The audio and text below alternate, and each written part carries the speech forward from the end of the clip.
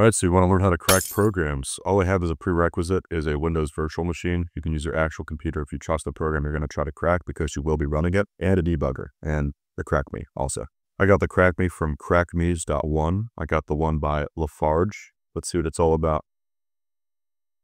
All right, get some nice tunes that you probably can't hear because I don't know if I'm recording my desktop audio, but we type in a username, we type in a code that goes along with it, and we can see if it lets us in.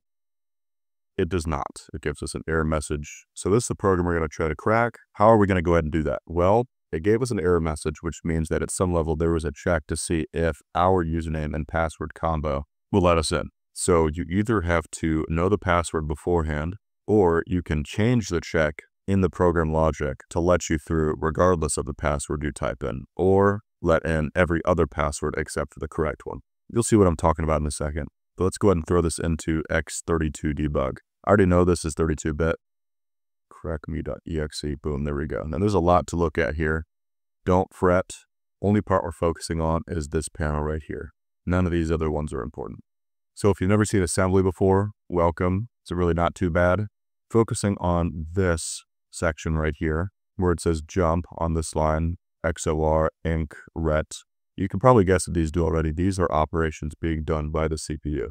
There are a lot of them. We're not going to go over that in this video. But assembly works, its flow just goes straight down until it runs into any kind of jump command. As you can see, there are no jump commands until right here, JE. What does that do? Well, this is a jump if equal to command. These are what replace if statements at lower level computer logic.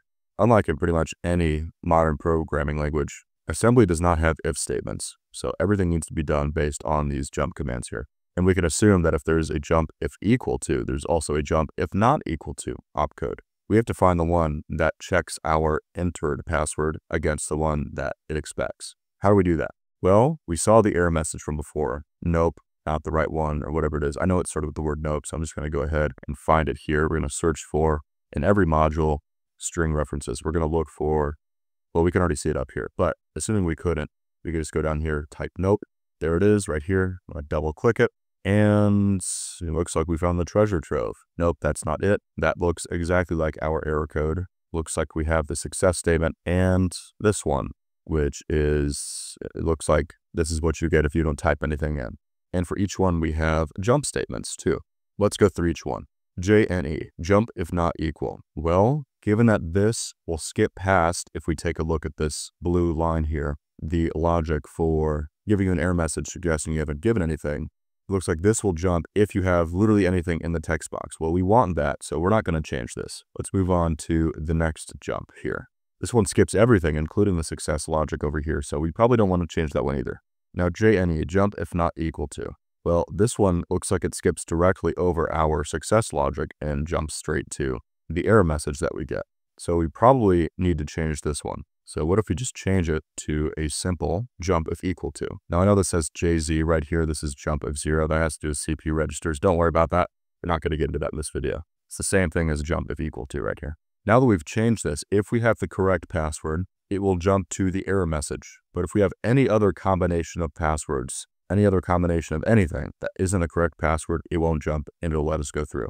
As an experiment, I see some parameters being passed into this function here, message box A noticing with the error boxes, there's a code of 10, and with the success box, there's an error of 40. What if I change this, out of curiosity, to 10? Is that going to make that an error message even though it lets us through? I'm curious, So you don't have to do that part. I just want to see if it changes it from an info message to a warning one. Well, now that we have all that, I'm going to go ahead and hit Control P. Now that we have everything we need, I'm going to patch the file, save our stuff to our desktop, cracked.exe, Everything applied, we're good to go. Cracked.exe. Everything launches like before. Type in the username, registry code. Yep, that's the right code, and it works. This changes the logo. And there you go. If that were a really simple program, you would have just cracked it. This goes to show how absolutely busted patching programs is. And just a heads up, this gets really, really complicated. But at some level, if there's anything being done on your machine that doesn't rely on the internet, it can be cracked. If you want to learn more about this, I'll put some stuff in the description. Other than that, I hope you enjoyed.